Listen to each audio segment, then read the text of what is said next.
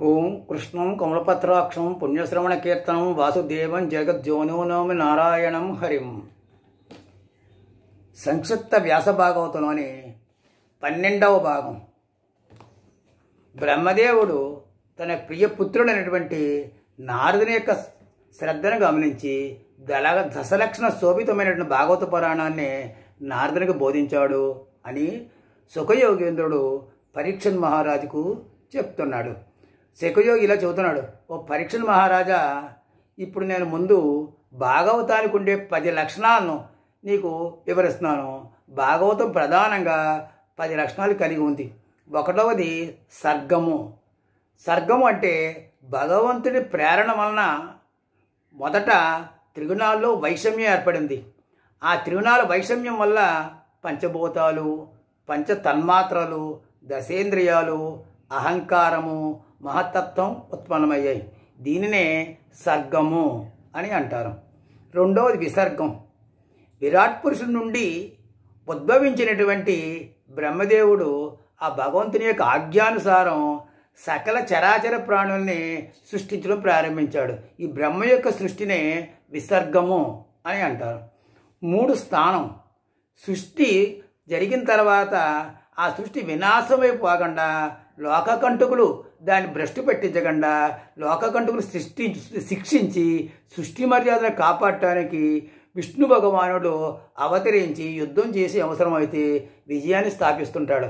ఈ విజయాన్నే స్థానము అని అంటారు. నాలుగు పోషణ.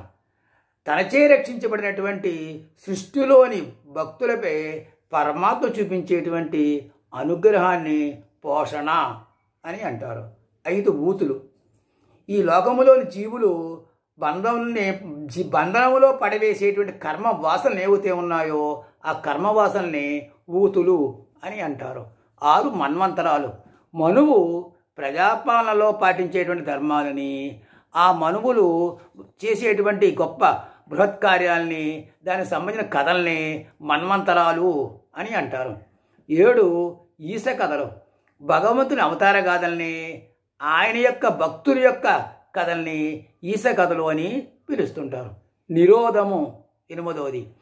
పరమాత్మ యోగనిధిలో శరించినప్పుడు జీవులను తన శక్తుల్ని కూడా సంపూర్ణంగా తనలో లోనే లీనం చేసేసుకుంటాడు. ఈ విధంగా తనలో లీనం చేసుకునేటువంటి ప్రక్రియనే నిరోధము అని అంటారు. ముక్తి. జీవుడు కర్తృత్వ భోక్తృత్వ భావాల్ని అహంకార మమకారాల్ని పూర్తిగా వదిలిపెట్టి పరమాత్మ రూపంలో ఉండటాన్నే ముక్తి అని అంటారు. పదవది ఆశ్రయం. సృష్టి స్థితి లయాలకు కారణమైనటువంటి పరబ్రహ్మము యొక్క అనగా పరమాత్మ యొక్క స్థితినే ఆశ్రయము అని అంటారు. ఆశ్రయతత్వం యొక్క అవగాహన కొరకే మిగిలిన తొమ్మిది తత్వాలు చెప్పబడ్డాయి వర్ణించబడ్డాయి అని పెద్దలు చెబుతుంటారు. ఇంద్రియాల సహాయంతో నేను విన్నాను నేను తిన్నాను నేను చేశానని భావించేటువంటి జీవుడిని ఆధ్యాత్మము అంటారు. కన్ను చెవి ముక్కు మొదలైన ఇంద్రియాలను ప్రకాశింపజేసిన కొత్త దేవతలు ఉన్నారు ఆ దేవతల్ని ఆది దైవము అని అంటారు.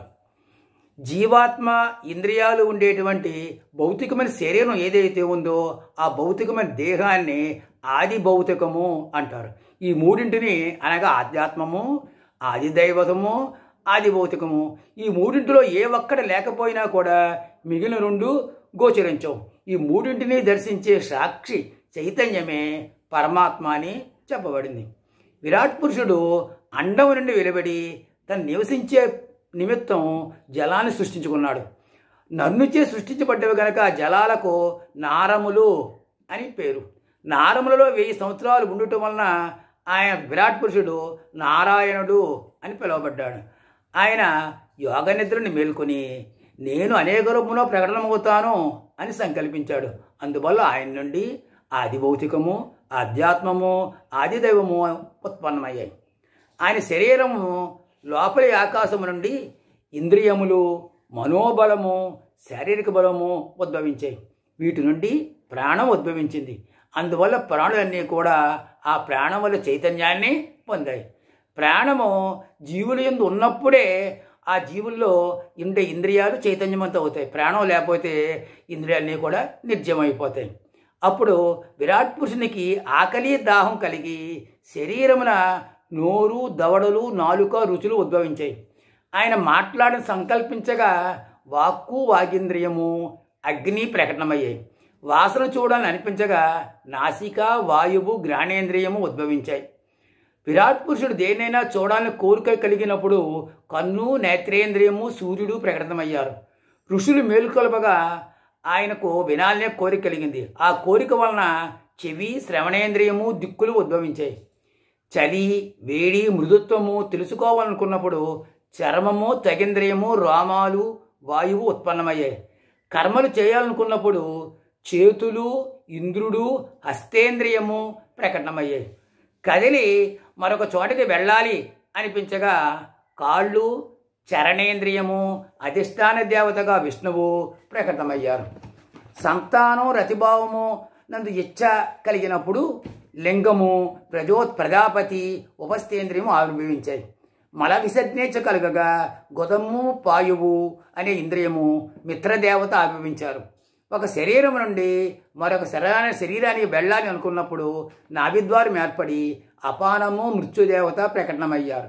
అన్నపానదులపై కోరిక కలిగినప్పుడు కుక్షి ప్రేగులు అధిష్టాన దేవతలు సముద్రము నదులు ఉత్పన్నమయ్యాయి.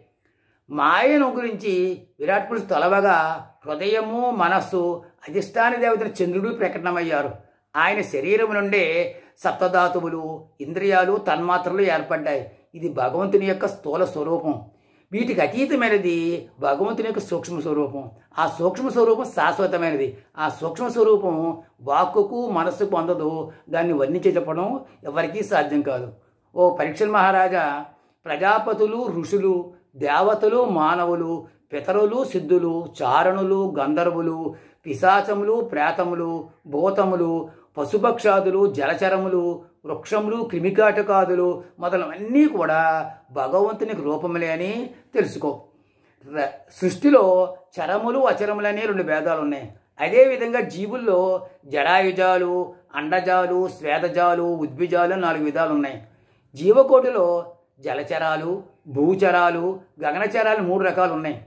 జీవులు మూడు రకాలుగా జన్మిస్తారు. సత్వగుణం గలవారు దేవతలుగాను రజోగుణం గలవారు మానవులుగాను తమో గుణం గలవారు నీచ యోనుల్లోనూ జన్మిస్తుంటారు.